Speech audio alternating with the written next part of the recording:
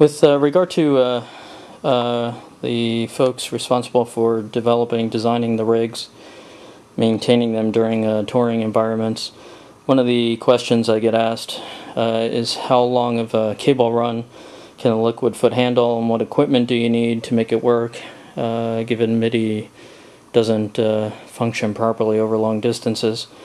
The liquid foot was originally designed without requiring any additional equipment to take a run of 500 feet uh, when you're using my um, uh, the rig port uh, that I developed.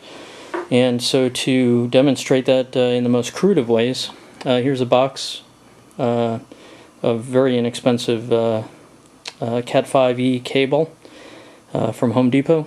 It is 500 feet, I believe. Yeah, 500 feet.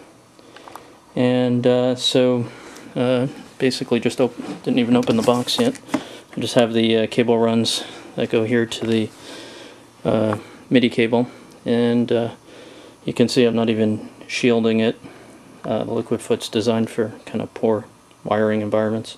But anyway, I'm going to plug this into the rig connector of the Liquid Foot here. If I can get it in. I guess I have to look. Try and do that blind. Okay. So that's plugged in.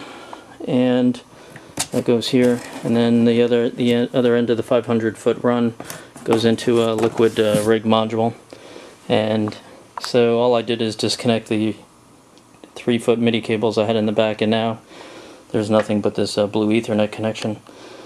Uh, I haven't changed anything else from the last video, and you'll notice uh, as I switch, um, so does everyone else. So this is over a 500 foot run, uh, no uh, repeaters um, or special hardware, uh, full sync mode, uh, 100% uh, reliability I found at 500 feet uh, with the data, so not gonna have any problems. Most people aren't running 500 feet of uh, cable, I hope. Uh, and uh, so normally you'd be uh, 200 or less, which will work just fine as well. So uh, that's using the uh, rig connector. That's both MIDI in and MIDI out, if you noticed.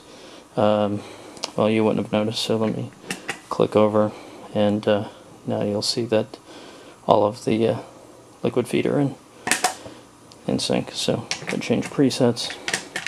So that's MIDI in, MIDI out data, 500 foot runs. Uh, nothing special in between the liquid foot and uh, the the rig box. So there you go.